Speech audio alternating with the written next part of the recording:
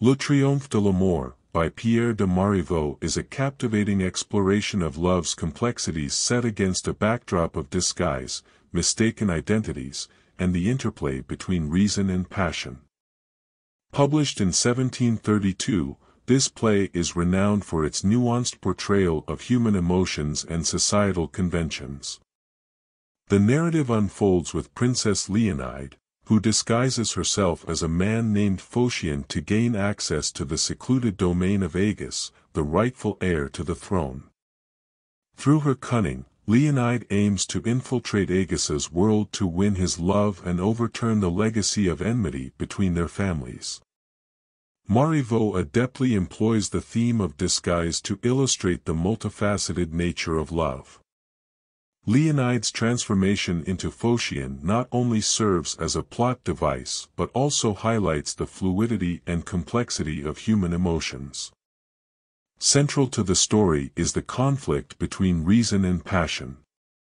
Leonide's strategic approach to love contrasts sharply with Agis's adherence to reason and duty.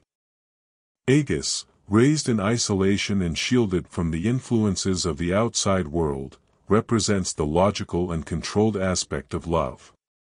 His commitment to duty and skepticism toward emotions create a stark contrast to Leonide's impulsive and emotionally driven actions.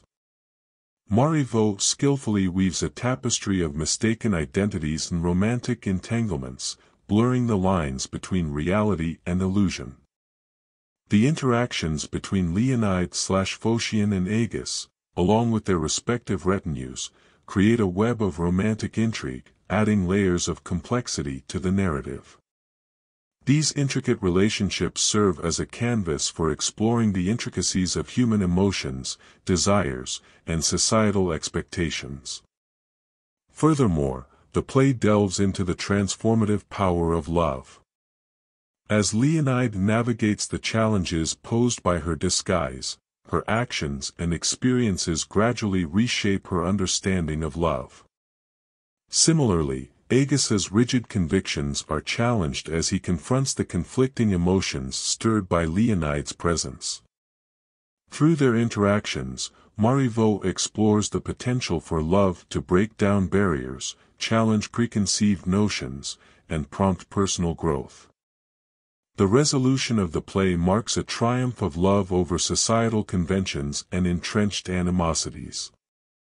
The revelation of identities, the unraveling of deceit, and the characters' acceptance of their feelings culminate in a harmonious union that transcends the barriers of class and familial discord.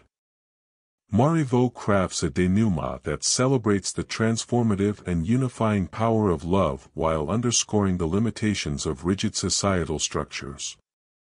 In conclusion, Le Triomphe de l'Amour is a masterful exploration of love, deception, and societal expectations. Marivaux's intricate narrative, rich character development, and exploration of the interplay between reason and passion elevate this play to a timeless examination of human nature.